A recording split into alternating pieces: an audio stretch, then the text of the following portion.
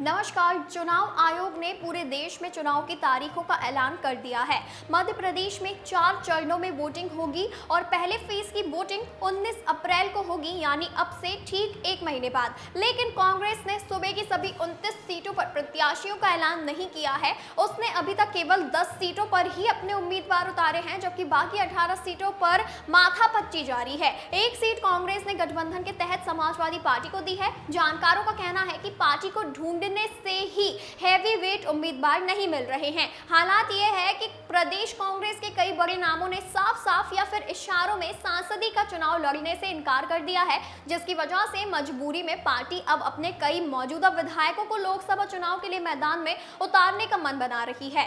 हालाँकि पूर्व मंत्री पीसी शर्मा ऐसी किसी बात से इनकार कर रहे हैं। दूसरी तरफ़ बीजेपी ने प्रदेश की सभी उनतीस सीटों पर अपने प्रत्याशी उतार दिए हैं। दरअसल प्रदेश कांग्रेस के कई बड़े नेता चुनाव लड़ने से इनकार कर चुके हैं और कुछ के नाम पर सस्पेंस कायम है, जिसमें कमलनाथ, दिग्विजय सिंह और जीतू पटवारी जैसे नेता शामिल हैं, जो सार्वजनिक मंच से चुनाव लड़ने से इनकार कर चुके हैं। इस मसले पर पूर्व मुख्यमंत्री दिग्विजय सिंह ने अलग ही तर्क दिया है। उनका कहना है कि मेरे लोकसभा चुनाव लड़ने का सवाल ही पैदा नहीं होता, क्योंकि मेरा राज्यसभा का कार्यकाल अभी बचा हुआ है।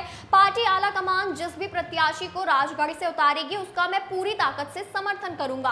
कांग्रेस को भोपाल, इंदौर, जबलपुर और ग्वालियर जैसी सीटों पर मज़बूत प्रत्याशी तलाश है, लेकिन बड़े नेताओं के इस रुख से पार्टी आला कमान परेशान है। इसी बीच अब ये खबर भी आ रही है कि कांग्रेस ने कई सीटों पर दो से तीन नामों का पैनल तैयार कर लिया है, जिसमें कई मौजूदा विधायकों के नाम शामिल है। कांग्रेस के साथ दूसरी दिक्कत यह है कि बीजेपी के महिला आरक्षण बिल और छह महिला उम्मीदवारों के सामने कांग्रेस को बराबरी से महिलाओं को उतारने में मशक्कत करनी पड़ रही है। कांग्रेस के सामने जिताऊ महिलाओं का चयन करना चुनौती बन रहा है। दूसरी तरफ़ कांग्रेस द्वारा प्रत्याशियों के नामों का ऐलान नहीं होने पर खुद मुख्यमंत्री मोहन यादव ने भी चुटकी ली है। उन्होंने कहा है कि कांग्रेस लगातार वो रॉकेट लॉन्च कर रही है जो कभी गंतव्य तक पहुँचता ही नहीं है। पहले वो विचार कर ले कि किसको लॉन्च करना है।